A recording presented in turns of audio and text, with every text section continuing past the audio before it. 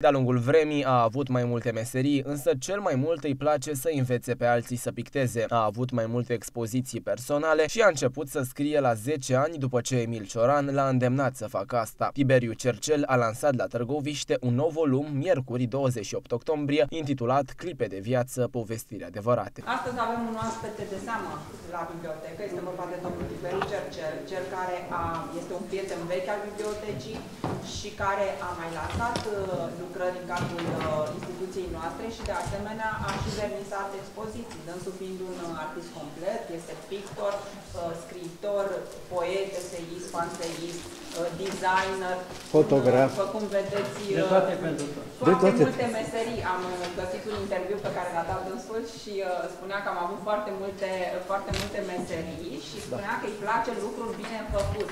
Și cartea aceasta este un lucru bine făcut pe lângă multe altele pe care uh, le-a făcut până în prezent și eu o să mai, uh, o să mai facă de acum uh, încolo. Am citit cartea lui uh, domnul profesor, uh, tot așa ca și pe lui Mircea, cum spuneam, uh, Drăgănescu, dintr-o suflare uh, și am uh, avut unele surprize, o carte deosebită, mai ales că m-am regăsit pe acolo ca temperament și eu, similitudini existențiale care m-au bulversat pur și simplu. Clipe de viață și noi trăim acum clipe de viață și mai trăim și clipe din viață.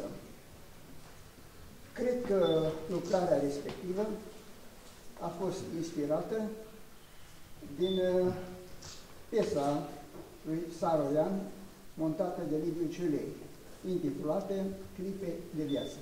Da.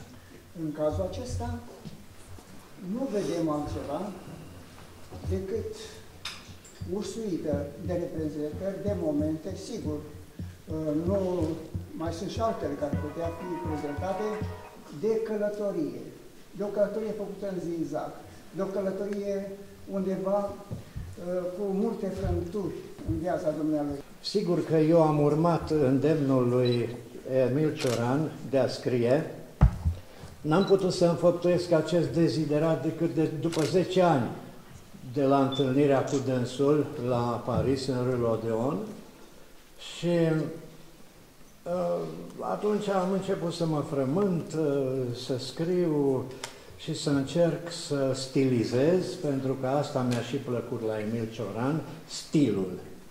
Deci stilul înseamnă foarte mult după părerea mea, aproape totul și stilul este omul. Evenimentul a avut loc la Biblioteca Județeană Ion Helia de Rădulescu din Târgoviște și s-a bucurat de prezența a zeci de persoane.